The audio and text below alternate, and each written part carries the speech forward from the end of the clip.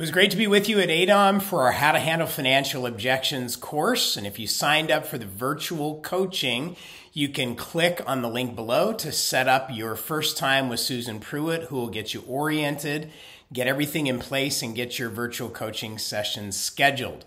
So we look forward to helping you reach top level performance in handling your patient's financial objections. Make sure and click on the link below.